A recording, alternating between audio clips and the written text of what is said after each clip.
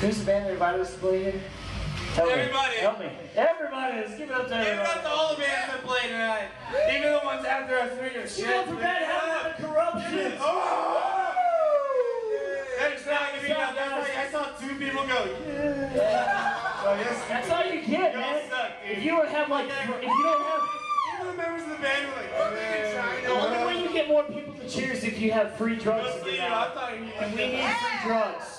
This guy knows what's up. Just saying. Oh, yeah.